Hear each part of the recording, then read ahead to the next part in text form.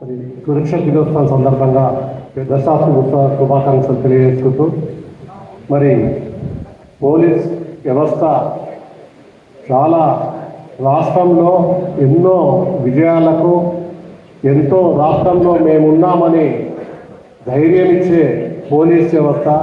ఎందుకంటే ఒక్కరోజు పోలీస్ వారు ఇట్లా మరి మనకెందుకులే అనుకుంటే ఈ రాష్ట్రంలో చిన్నాభిన్నమయ్యే పరిస్థితులు ఎన్నో ఉన్నాయి. అదేవిధంగా తెలంగాణ రాష్ట్రం వచ్చినాక పోలీస్ వారికి కూడా మన రాష్ట్ర ప్రభుత్వం కేసీఆర్ గారు ఎన్నో మరి అంగులతో కూడిన బండ్లు మరి అన్ని విధాలా కూడా సౌకర్యాలు కల్పించడం మన తెలంగాణ ప్రభుత్వం గారిని మరి అదేవిధంగా తెలంగాణ ప్రభుత్వం వచ్చినాక మరి పోలీస్ పోలీస్ వారికి కూడా పూర్తి విశ్వాసంతో మరి మాకు ఈ తెలంగాణ ప్రభుత్వం మంచి అండదండంతో మా విజయాలన్నీ ప్రతి ఒక్కరు కూడా ప్రతిభ చూపెట్టడం.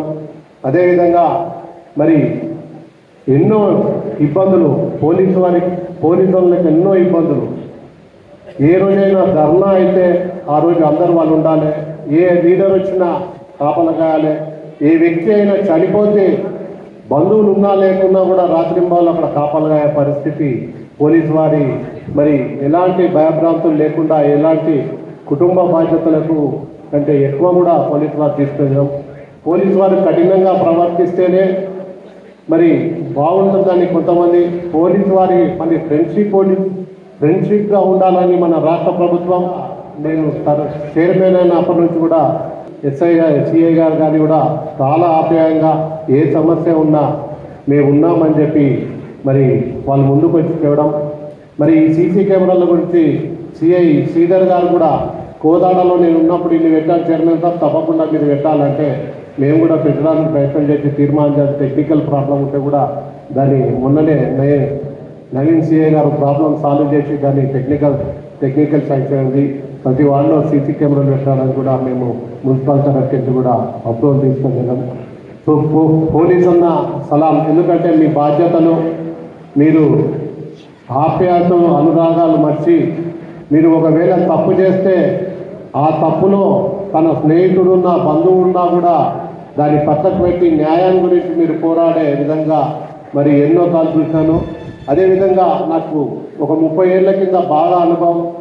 మన జిల్లా ఎస్పీ పద్దేశ్ నాయుడు ఈ నక్సలైట్లతో పోరాడి చనిపోయిన విధానం పోరాడుతూ పోరాడుతూ ప్రాణాలు ఇచ్చిపెట్టిందని ఆ కథ నాకు ఇప్పటి వరకు కూడా బాగా జ్ఞాపకం ఉంది.